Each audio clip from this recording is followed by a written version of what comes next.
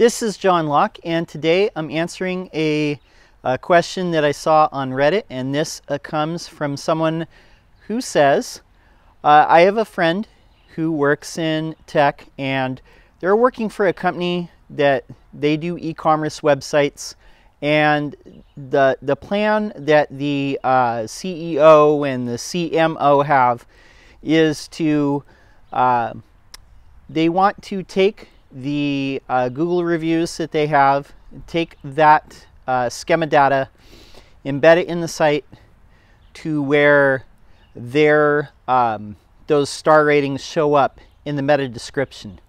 Um, and I told him that this is something that they can get a manual Google penalty for, which is true. This is something that, that you are not supposed to do, and I'll explain why in a minute. Uh, but furthermore, what they want to do is they want to uh, take all their Yelp reviews, create fake email, Gmail profiles, and then take those Yelp reviews and add them as Google reviews. So basically, making fake reviews. Um, and then they want to roll this service out to clients. So basically, uh, doing fake reviews and then embedding those uh, as schema data to try and make the you know the star ratings come up in uh, when you search in Google and you see it in the meta description. So this is problematic on a lot of lot of lot of lot of levels. Um, for one, you're very correct when you state that they can get a manual penalty from Google for embedding schema data with reviews. Now, the way that it's supposed to work is there should be a mechanism for people who come to the site and to uh, leave a star rating there. So if you want to have a feature like this in your website, uh, and some e-commerce stores do this out of the box, like WooCommerce. You can rate a product. Um, some websites that I've seen, you can uh, leave a review, but they have to be able to come to that particular website and then click a star rating and leave a review or a star rating and then have that updated in the site itself. That is when Google shows the star rating in the uh, meta description or the search results. Uh, if you're not seeing it, that's why, because there's no natively uh, embedded way to leave reviews uh, in that site. But like I said, a, a lot of e-commerce solutions out of the box have that capability. What's problematic is they're wanting to uh, replicate reviews from Yelp and then put them in Google.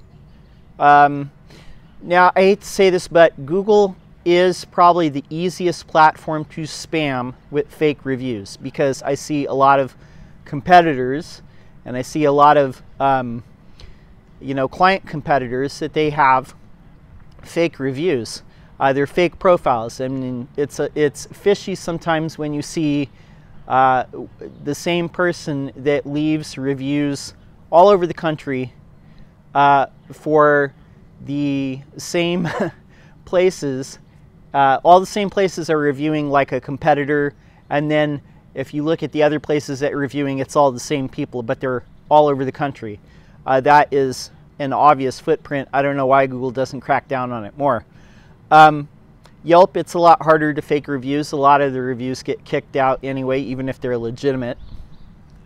We have a video on that, uh, getting past the Yelp filter review. The most problematic part of this question, this story, uh, this post on Reddit, is that this is a company that thinks this is a good idea, that deals in technology, that builds websites, that builds e commerce websites for a living and the leadership on the team thinks that this is a good idea, even though they've been shown and warned that Google will manually penalize them and their client sites for this.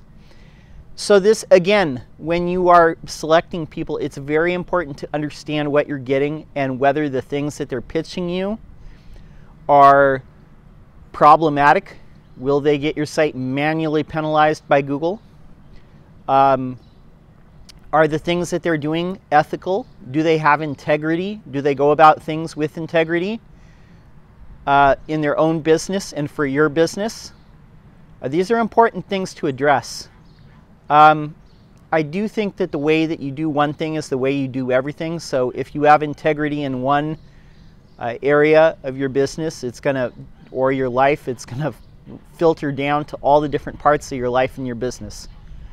Uh, so be very wary of companies that sound too good to be true or they have an insta solution you know just add water and you'll get all these you know fake reviews and that will help you. That's not a good idea.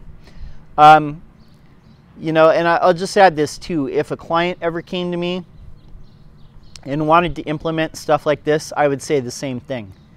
Uh, i'm not about to do anything that's going to jeopardize your business or make me look bad or, or make me feel like I'm compromising our integrity of our business uh, here.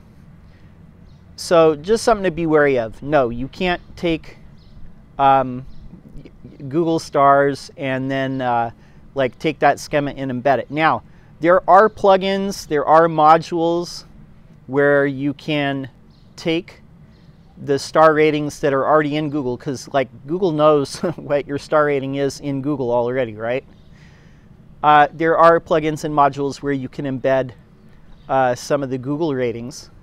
It doesn't mean that they're like if people Google your business, it's going to show up the star rating in the description, but it'll be there in the knowledge panel on the right hand side when you Google your company name. It'll show your Google reviews. Um, so yeah, there there are modules to do that for all kinds of things. Um, you know where you can embed stuff, but if you want to have star ratings uh, when when you uh, Google a, a, a, thing and the actual business is right there, there has to be a mechanism to collect it and then update that star rating on the site in the site itself. Uh, and I don't mean an embed part of the actual site itself, not an iframe, not an embedded module. Um, it, it is actually part of the site itself. Uh, but, but just taking schema markup or structured data markup from Google and then taking your stars and then putting it in there is, is a no-no. Please don't do that. All right, this is John Locke for Lockedown Design and SEO. We help manufacturing and industrial firms with SEO. So if you have an SEO question, leave it in the comments below. We'd be happy to answer it. And we're posting videos every week, so we'd love to see you subscribe. Until next time, peace.